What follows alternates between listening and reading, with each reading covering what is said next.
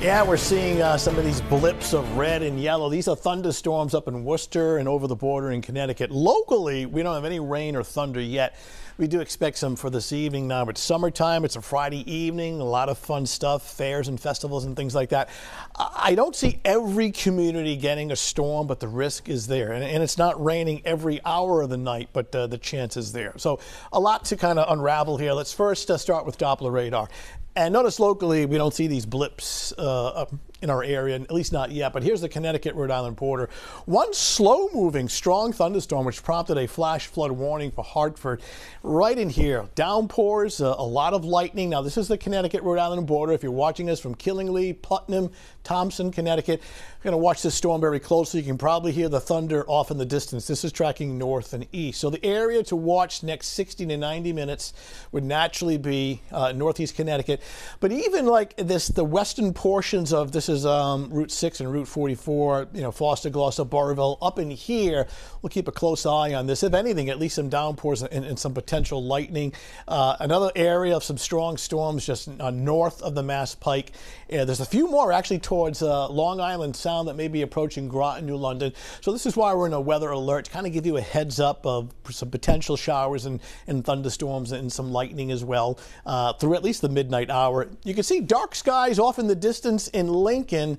Uh, and quite simply, it's dry in Lincoln, but to the north and west, you are seeing some of the thunderstorms off in the distance. They, they tower so high up in the sky that you can see them uh, far out on the horizon. It's in the mid and upper 70s. That includes 75 in Providence. So evening uh, scattered showers and thunderstorms. A few may be strong from about 5 p.m. until midnight. Now, it is not raining and thundering this entire seven hour period. This is just the window of opportunity, if you will. And again, not all spots will see one nice weekend, and I think we deserve it. Clearing Saturday morning, gorgeous Saturday afternoon, even better on Sunday. The humidity will be dropping on Sunday as well.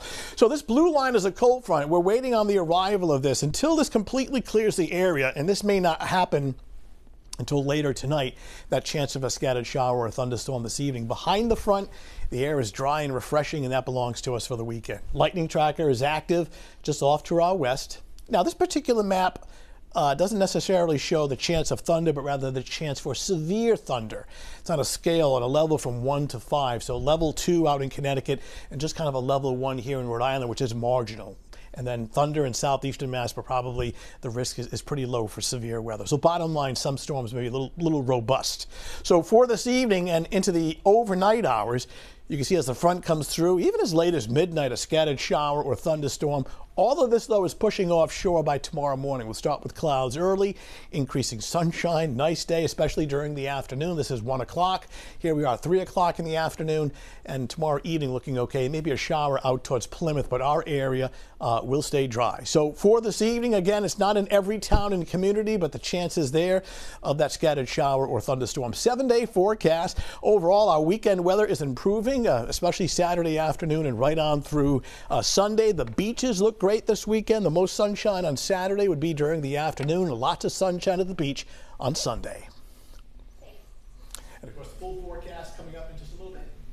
Thanks, Tony. All right, so the race to develop a flying taxi is a high stakes competition with startups around the globe. But as Ian Lee tells us, a German company says its all electric version will help not just commuters, but the environment as well.